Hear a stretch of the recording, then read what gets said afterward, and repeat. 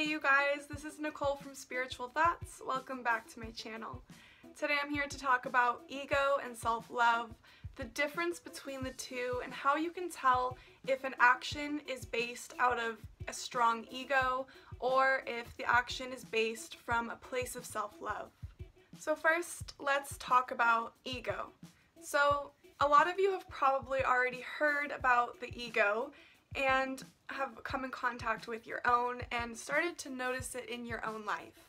So basically what the ego is, is the sense of who we are. The idea in our minds of who we look like to other people, what we express to others, and who we want to be in the eyes of other people. So basically our ego is the thing that makes us want to look good, makes us want to be cool, makes us want to be really successful and have all of the things that everyone else has. But the ego isn't always bad.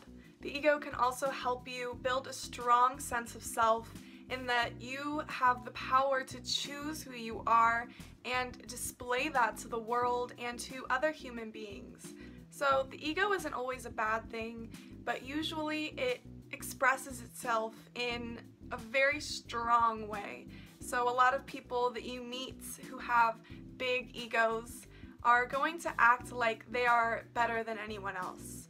So it's possible to have an ego, everybody has an ego, but it's possible to have one and not be arrogant or full of yourself. So the ego is where all of our sense of self-importance, our sense of self-esteem, self-worth comes from. But it's very different from self-love. Acting from a place of ego is acting so that you may look a certain way or be something in the eyes of society or other people or even really to yourself. You might just want to prove to yourself that you are a certain way or you can be cool or you can be successful and rich and beautiful and attractive and all of these things. But a place of self-love, real self-love, comes from a place of wanting not only to better yourself from an ego standpoint of just wanting to look better, but actually to be better. Not just for how you look to yourself and to others and to society, but to actually create a better impact on the world. And the main point of real self-love is to serve in the evolution and the growth on a personal level and as a collective consciousness level for humanity. So I'll give you some simple examples that I have seen countless times, not only in my own life, but in the lives of people around me. Let's say that you want to lose weight.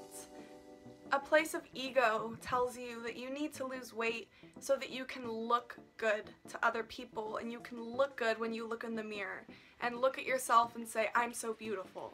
That ego will tell you that you look fat and you don't look attractive. But a place of self-love will tell you that yes, maybe you need to lose weight, but not because you need to look attractive just because you want to feel better in your own skin or have more energy or live longer or be more comfortable in your own body. All of these things are from a place of self-love. Another huge thing is related to money.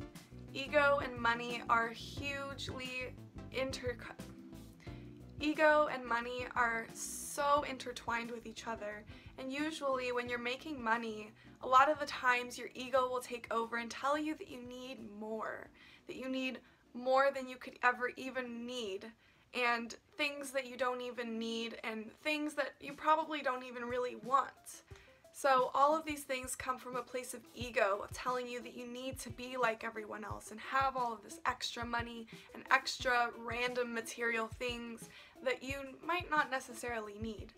But a place of love will tell you to make money so that you can support yourself, so that you can do things that you love like travel the world, so that you can help people with your money. Maybe you want to give to charity or just to be able to help your family. Maybe someone in your family is struggling and you want to make money to be able to help them.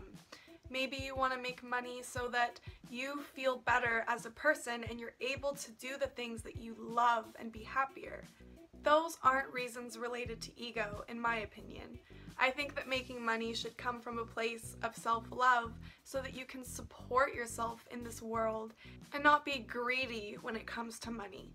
Only making and taking what you need and what will make you happy, and not what will make you look good or be successful in the eyes of society. So, those are just two easy examples. This can really be applied to any kind of choice that you're going to make. Always ask yourself if it's coming from a place of self love and bettering yourself over ego and looking good.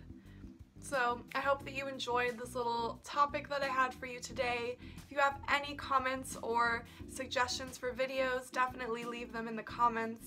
And I will see you in the next video. I'm sending you all of my love.